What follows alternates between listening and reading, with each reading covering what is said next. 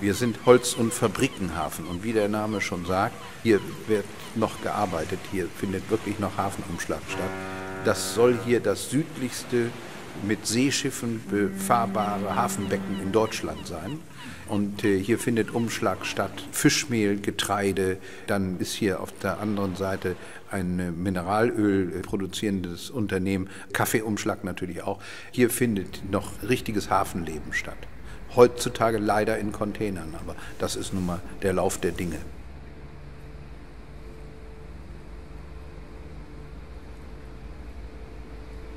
Der Ludwig Roselius war ein Wappennarr. Der hatte sogar einen Buchverlag. Dieser Buchverlag hat nichts anderes als Wappenbücher herausgegeben. Und in den Kaffeehaken Kaffeetüten war oben immer auf dem Kaffee so eine kleine Pappscheibe. Und äh, da waren auch immer Wappen drauf. In jenem Gebäudekomplex, den Ludwig Roselius, der ehemalige Bremer Kaffeebaron, 1906 von dem Architekten Hugo Wagner errichten ließ, befindet sich die Lloyd Café GmbH. Auch der Marmorsaal. Er ist ein kulturhistorisches Kleinod und hatte 2014 seinen 100. Geburtstag.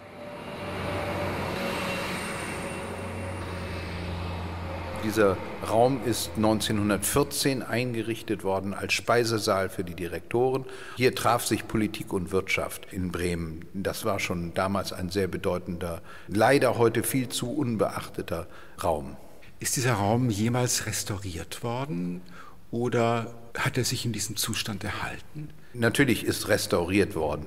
Es ist nicht saniert worden, es ist restauriert worden. Das heißt, die Decken, die sind natürlich nicht aus Marmor, äh, sind neu gestrichen worden. Äh, der Fußboden, der ursprüngliche Fußboden ist leider äh, zerstört gewesen. Ein wunderschöner Parkettboden soll hier drin gelegen haben. Und die Architekten, die das Original nicht mehr vorfanden, haben gesagt, wenn wir diesen wunderschönen Boden nicht haben, dann machen wir das Gegenteil. Das ist hier ein bisschen, wie ich finde, kaputt saniert worden. Hier würde ein Parkettboden sicherlich ganz anders wirken.